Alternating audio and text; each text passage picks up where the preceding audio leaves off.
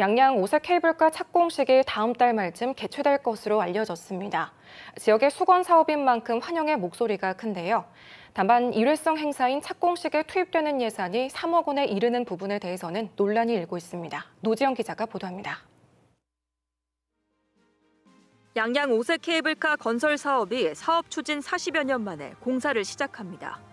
2026년 초 운행을 목표로 다음 달 첫 삽을 뜰 예정인데 주민 수건 사업인 만큼 공사 시작을 알리는 착공식도 관심입니다.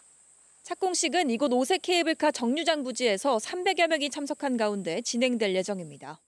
문제는 관련 예산입니다.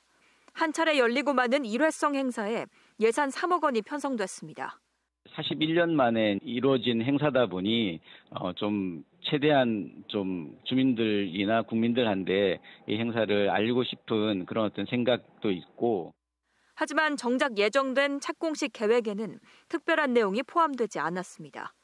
이 때문에 관련 업계에서조차 착공식 예산이 과도하다는 의견이 이어집니다. 10분의 1이면 돼요, 10분의 1. 말도 안 되는 금액이 송이 연어축제가 5억 가지고 한단 말이에요. 네. 5일 동안.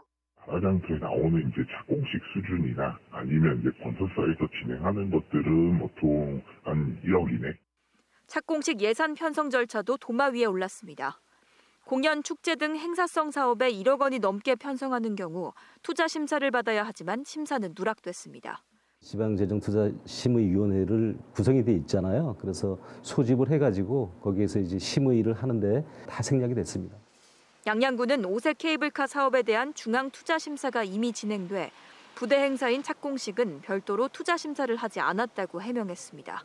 일부 반대 의견에도 양양군 의회가 착공식 예산안 3억 원을 최종 의결하면서 적정성 논란은 당분간 계속될 전망입니다. KBS 뉴스 노정입니다.